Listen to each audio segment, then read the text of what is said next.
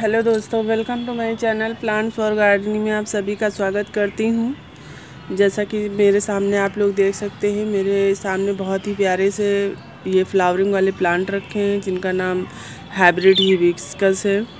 और hybrid hibiscus बहुत ही प्यारे प्यारे प्लांट होते हैं दोस्तों। और आज इनमें फ्लावरिंग हुई है तो मैंने सोचा आप लोगों को दिखाती हूँ मैं।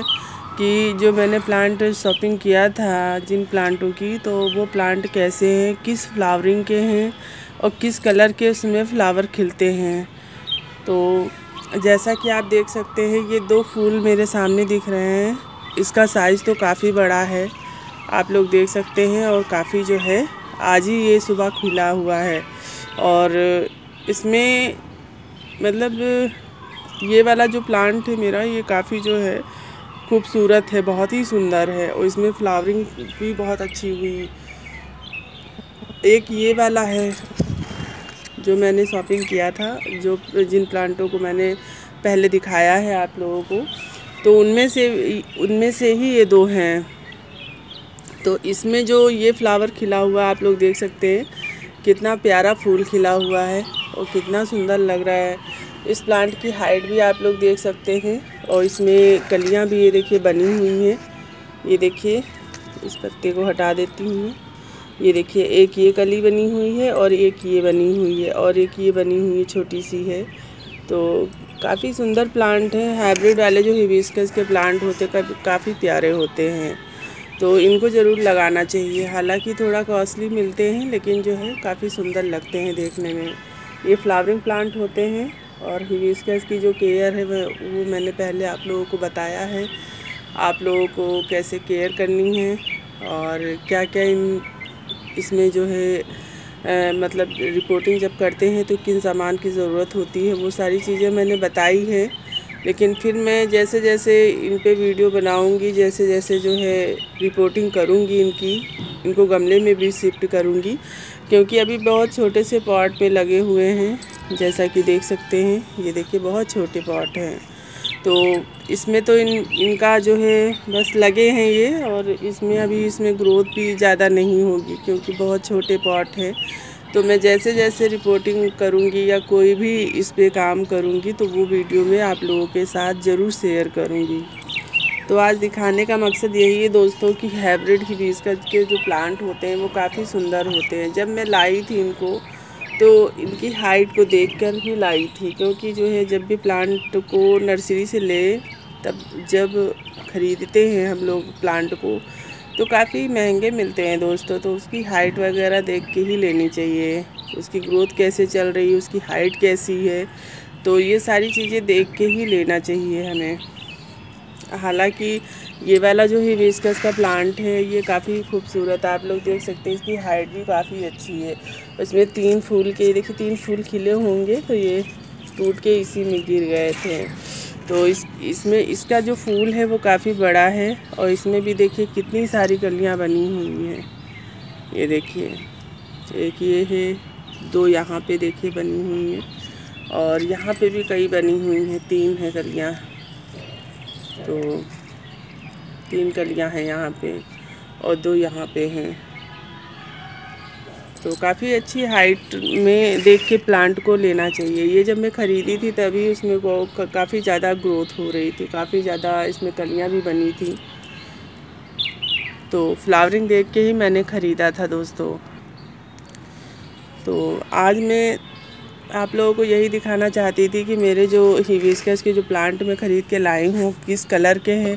क्योंकि जब मैंने वीडियो बनाया था तो उसमें फूल नहीं खिले थे तो कुछ पता नहीं चल रहा था कि कौन कौन से कलर के हैं। तो ये आज दो फूल खिले हुए हैं अलग अलग कलर के तो मैंने सोचा आप लोगों को दिखाती हूँ मैं कि जो है आप लोग देखें तो आप लोगों को अच्छा लगेगा कि किस कलर के हिबिस्कस के प्लांट में ख़रीद के लाई हूँ।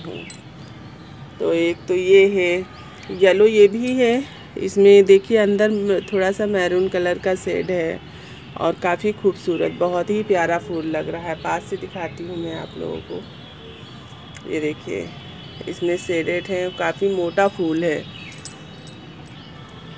काफ़ी मोटा फूल है मतलब आज खिला है तो एक दो दिन ये ऐसे ही बना रहेगा। और ये वाला फूल तो इससे ज़्यादा बड़ा है, आप लोग साइज़ देख सकते हैं कितना बड़ा है फूल। तो मैं यही दिखाना चाहती थी आप लोगों को क्योंकि मुझे बहुत खुशी मिल रही है, बहुत अच्छा लग रहा है इनको देख के कि फ्लावरिंग इतने बड़े बड़े हिविस्कस के जो पेड़ हैं, वो छोटे से गमले में लगे हैं, लेकिन इनमें फ्लावरिंग आप देख सकते हैं, कितने प्यारी फ्लावरिंग हो रही है। तो मैं यही दिखाना चाहती हूँ आप लोगों को कि हिविस्कस के जो प्लांट हैं, हाइब्रिड वाले, वो आप लोग इसी तरह लगा सकते हैं और ज़्यादा केयर भी नहीं करनी पड़ती इनको। बस, विंटर सीज़न में अगर आप ख़रीद रहे हैं तो विंटर सीज़न में आप लोग ला के इसे रख दीजिए ऐसे ही और आप लोग रिपोर्टिंग नहीं करिएगा। रिपोर्टिंग करेंगे तो थोड़ा दिक्कत होगी क्योंकि विंटर सीज़न में आप हिबिस्कस के प्लांट ले तो सकते हैं, लेकिन उसकी रिपोर्टिंग मत करिएगा क्योंकि बहुत जल्दी शौक में चले जाते हैं। और जब ये शौक में चले जाते हैं तो इन्हें बचाना थोड़ा मुश्किल हो जाता है दोस्तों।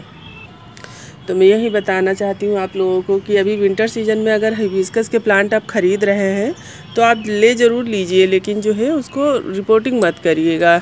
अब मैं इनको लाई हूँ तो इनको रिपोर्टिंग अभी नहीं करूँगी। इनकी रिपोर्टिंग मैं करूँगी जब समर सीज़न थोड़ा शुरू होने लगेगा, उसके बाद में करूँगी। तब इनको गमले में शिफ्ट करूँगी, तब इनकी ग्रोथ का सीज़न भी चलेगा और काफ़ी अच्छी इसमें फ्लावरिंग और ज़्यादा अच्छी होगी। हालाँकि मैंने जो ख़रीदा है हिबिस्कस तो इसमें बहुत ज़्यादा फ्लावरिंग हो रही है। कलियाँ भी बहुत अच्छी बनी है और जो है, तब मैं आप लोगों को बताऊँगी कि इसमें क्या करना है, कैसे जो है, इनको लगाना है, गमले में शिफ्ट कैसे करना है, सारी चीज़ें बताऊँगी आप लोगों को। और अगर अभी आप लोग लाते हैं और जो है इसको रिपोर्टिंग करना चाहते हैं कि नहीं, हम गमले में शिफ्ट कर दें। गमले में शिफ्ट करने के बाद ही इनकी ग्रोथ अच्छी होगी तो मैं आप लोगों को कुछ चीज़ें बता दूँ। सबसे पहली बात यह है कि अगर आप करना चाहते हैं तो इनके लिए मिट्टी का गमला लीजिए। कम से कम बारह इंच का गमला हो और जो है मिट्टी बहुत ही ज़्यादा वेल ड्रेन हो। बारह इंच का गमला इनके लिए बहुत अच्छा रहेगा, क्योंकि इनकी ग्रोथ बहुत अच्छी होती है। इनकी जड़ें बहुत ज़्यादा फैलती हैं और बहुत ज़्यादा जो है हेल्दी जड़ें होती हैं इनकी। क्योंकि प्लांट को देख के भी आप लोगों को लगता होगा, अगर जड़ें इनकी जो है, रूट्स इनकी जो है अच्छी तरीके से हेल्दी होंगी तो हमारा प्लांट भी बहुत हेल्दी होगा। तो मिट्टी का गमला सबसे बेस्ट होता है। मिट्टी के गमले में एयर सर्कुलेशन जो होता है, वो बहुत अच्छा होता है। इसलिए जब हमारा हाँ इस प्लांट की जो रूट्स हैं, वो हेल्दी होंगी तो हमारा प्लांट भी बहुत हेल्दी होगा। तो इस बात का आप लोगों को ध्यान रखना है कि मिट्टी का गमला ही यूज़ करें ज़्यादातर। और जो है, मिट्टी का गमला इनके लिए सबसे ज़्यादा बेस्ट होता है। मिट्टी बनाने के लिए मैंने बताया आप लोगों को, बहुत ही ज़्यादा वेल ड्रेन मिट्टी बनानी है। उसके लिए क्या करना है आपको? कि एक भाग जो है आपको अपने गार्डन की सॉयल लेना है, एक भाग लेना है बालू मिट्टी का, एक भाग लेना है गोबर की खाद का। और हो सके तो एक भाग उसमें जो है पत्तियों की खाद का मिला दे जो ऑर्गेनिक होती हैं, वो ज़्यादा बेस्ट होती हैं हिबिस्कस के प्लांट को। गोबर की खाद भी आप डाल सकते हैं और जो है ये, इन चारों चीज़ों को मिक्स कर लीजिए। मिक्स करने के बाद उसको लगाइए उसमें। और ये मिट्टी बहुत ज़्यादा बल्ड्रेन बनानी है। इसलिए बालू मिट्टी की मात्रा थोड़ा सा अधिक कर लीजिए। और फिर इसमें पानी की बात करें तो पानी बहुत ज़्यादा नहीं डालना है आपको। जैसे एक दिन पानी छोड़ दीजिए तो दो दिन का गैप कर सकते हैं आप लोग। दो दिन बाद फिर इसमें जब इसकी मिट्टी एक इंच ड्राई हो जाए, तब इसकी मिट्टी देखिए कि सूख गई हो एक इंच, तब आपको पानी इसमें देना है। तो पानी का बैलेंस भी बहुत अच्छे से बनाना है, क्योंकि बहुत ज़्यादा पानी डेली डेली अगर इसमें डालेंगे तो बहुत जल्दी ख़राब होता है। और जो है रिपोर्टिंग करते समय एक बात का ध्यान रखें, आप लोग मिट्टी में इसके एप्सन सॉल्ट ज़रूर डालिए, क्योंकि जो है ये प्लांट हमारा बहुत जल्दी शौक में चला जाता है, एक गमले से दूसरे गमले में शिफ्ट करने में। और फिर इसे थोड़ा बचाने में दिक्कत होती है। तो एप्सन सॉल्ट क्या होता है कि इसको जब दूसरे गमले में आप शिफ्ट करते हो तो उसको एडजस्ट करने की इसको ताकत देता है और जो है ये शौक में भी नहीं होता है। तो एप्सन सॉल्ट आप डाल सकते हैं, मिट्टी में एक भाग मिला लीजिए। एक भाग से थोड़ा सा कम मतलब एक भाग का तिहाई हिस्सा मिला लीजिए आप लोग। तो एप्सन सॉल्ट आप लोग डाल सकते हैं और फुल सनलाइट का प्लांट है। रोशनी की बात करें तो सनलाइट की बात करें तो फुल सनलाइट का ये प्लांट है। फुल सनलाइट में रखिए सेडी एरिया में तो हिबिस्कस का कोई भी प्लांट हो सेडी एरिया में दोस्तों नहीं रखा जाता है।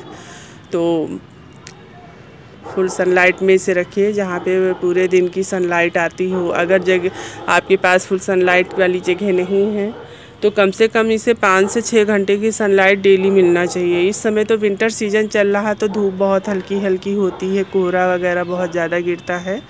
तो इस समय क्या करना है आप लोगों को, जहाँ पे ज़्यादा सनलाइट आती हो, उस जगह पे इसको रखिए। क्योंकि इस समय जो है विंटर सीज़न है, इसका सीज़न तो कम है। फिर भी इसमें फ्लावरिंग हो रही है, हमारा प्लांट भी काफ़ी हेल्दी है तो इस बात का ज़रूर ध्यान रखिए, जहाँ पे सनलाइट थोड़ा ज़्यादा आती हो, उस जगह पे ज़रूर रखें इसको। तो अब अब बात करती हूँ इसके खाद कौन सी देना है तो गोबर की खाद भी दे सकते हैं ऑर्गेनिक पत्तियों की खाद भी दे सकते हैं, और किचन वेस्ट का जो लिक्विड फर्टिलाइज़र होता है वो आप दे सकते हैं, वो ज़रूर डालिए। इसमें किचन वेस्ट का जो लिक्विड फर्टिलाइज़र होता है। और एक बात मैं बता दूँ आप लोगों को, जो हाइब्रिड हिबिस्कस का जो प्लांट होता है या देसी वाला जो हिबिस्कस होता है, इसमें फंगल बहुत जल्दी लगते हैं। तो फंगल के लिए मैंने आप लोगों को बताया है कि नीम ऑयल का इस्तेमाल करें या नीम की पत्तियों का लिक्विड फर्टिलाइज़र जो मैंने बनाना आप लोगों को बताया भी है, डालना भी बताया है। तो वो इस्तेमाल कर सकते हैं। वो पंद्रह हर पंद्रह दिन पे आप अपने पूरे प्लांट को नहला सकते हैं। नीम की पत्तियों का जो लिक्विड फर्टिलाइज़र बनता है, उससे आप इसको नहला सकते हैं। पूरे प्लांट को नहला दीजिए तो इसमें कोई भी फंगल जल्दी अटैक नहीं करेगा। हालाँकि ये फ्लावरिंग वाला प्लांट है, आप लोग देख सकते हैं मेरे प्लांट में कितनी खूबसूरत खूबसूरत फूल खिले हुए हैं। देख के इतना सुंदर लग रहा है मुझे।